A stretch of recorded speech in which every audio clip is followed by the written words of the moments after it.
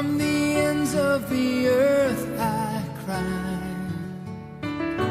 Your peace will lead me to the rock that is higher than I.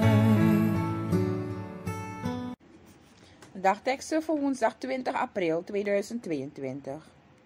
Jeremia 31, vers 10. Hij die Israël verstrooide, zal het verzamelen en het behoeden, als een herder zijn kudde. Hij die Israël verstrooide, zal het verzamelen en het behoeden, als een herder zijn kudde. Jeremia 31, vers 10. Het leerwoord is gehaald uit Johannes 17, vers 20 en 21. Jezus bidt. Ik bid niet alleen voor deze, maar ook voor hen die door hun woord in mij geloven, opdat zij allen één zijn. Jezus bidt.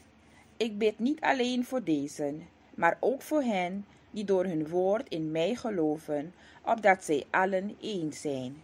Johannes 17, vers 20 en 21. Hemelse Vader, dank u, dank u voor deze mooie dag. Uw goedheid, uw trouw, uw genade, die brengen wij glorie, eer en alle hulde toe, omdat wij weer een prachtige dag mochten aanschouwen. En omdat wij weten dat u onze Heer, onze Heiland, onze herder bent, die uw schaapjes bij elkaar verzamelt en hen hoedt als een herder zijn kudde. Dank u wel, Vader, voor deze genade, voor deze hoop die wij in u mogen hebben. En dat wij weten dat de Heer Jezus bidt dat niet alleen de discipelen, maar ook wij, een ieder bij u mogen horen, omdat wij geloven in uw woord, omdat wij allemaal één mogen zijn. Dat willen we ook bidden vanmorgen, Heer. Dat iedereen één wordt, dat er geen kritiek, geen verschil, geen ruzie, geen vijandigheid is, maar dat wij die saamhorigheid van U mogen uitdragen in deze wereld die zo boos is, omdat hij beheerst wordt door de vijand. Maar wij zijn blij omdat wij door u beheerst worden. Omdat wij tot u mogen komen. Daar aan het kruis op Golgotha. Daar waar u onze zonden geboet heeft. Daar waar u uw kostbaar, dierbaar bloed vergoten heeft. Om ons die genade, die liefde, die vrijheid, die genezing en die verlossing geschonken heeft. Vergeef ons, Heer.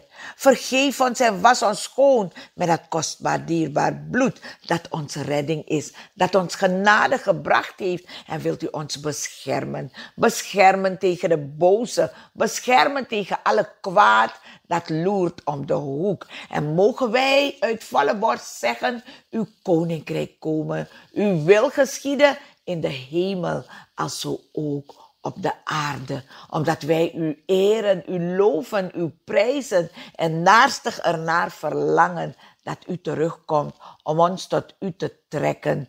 U, o Heer, die niet dood gebleven bent, maar u bent opgestaan. U bent nedergedaald ter helle. U heeft de dood van zijn kracht ontroond, de vijand verslagen. De dood is geen angst meer voor ons, omdat ook al sterven wij, dat wij weten dat we eeuwig leven zullen ontvangen, omdat u terug zal komen om ons tot u te trekken, zodat wij eeuwig bij u mogen blijven, daar waar u op dit moment bezig bent een plaats voor ons te bereiden in het huis van uw Vader, in het Koninkrijk. Dank u Heer, dank u Jezus, dank u Vader, dank u Heilige Geest voor deze genade en deze vrolijke en blijde boodschap van hoop mogen wij ook brengen aan de jarigen, aan de zieken, aan de bedroefden, aan een ieder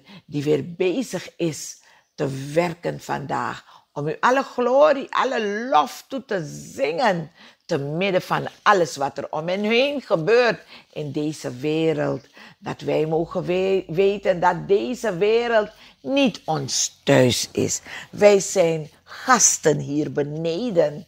Dank u, Vader, dat wij die boodschap mogen doorgeven aan anderen en dat wij op weg mogen gaan om uw lof te verkondigen. Geleid door uw licht, uw liefde en uw vrede.